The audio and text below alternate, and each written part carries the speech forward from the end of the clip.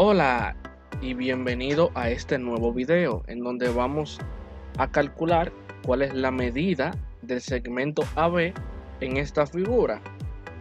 Esto es un desafío que se ha vuelto viral en las distintas redes sociales. Y si aún no te has suscrito al canal, te invito a hacerlo ahora y así estarás al tanto de nuevo contenido. Nosotros tenemos las opciones de que la respuesta puede ser raíz de 5, puede ser 5 o puede ser raíz de 13. Solamente sabemos que el lado de cada cuadrado es de un metro.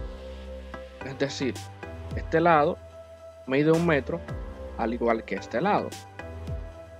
Pero esa figura es un poco interesante. Porque como pueden ver, aquí tenemos 1, 2, 3, 4 cuadrados. ¿Acaso no lo viste venir? Pero solamente nos interesa esta longitud. Ok. ¿Y qué tal si yo completara esta figura? Es decir, agregara otro cuadrado que es válido. Porque lo que me interesa es saber la longitud de este segmento. Bien.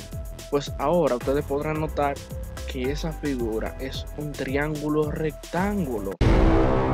Es decir, por el teorema de Pitágoras, nosotros vamos a poder encontrar la longitud de este segmento conociendo ya quiénes son estos lados. Si aquí tenemos uno más el otro serían 2 metros. Y aquí sucede que aquí tenemos 1, 2 y luego 3. Tendríamos 3 metros.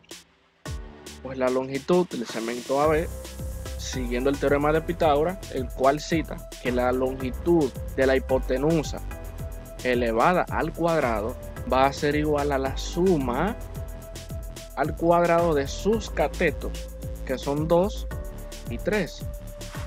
Aplicando radical tanto aquí como allá, aquí nos quedaría que AB sería igual a la raíz de 2 al cuadrado más 3 al cuadrado.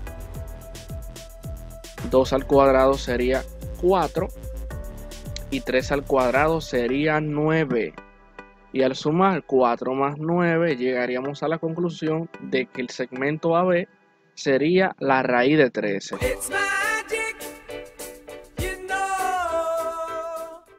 Y así habremos llegado a la solución de este ejercicio. Recuerda darle me gusta a este video y nos veremos en este mismo canal en un próximo video.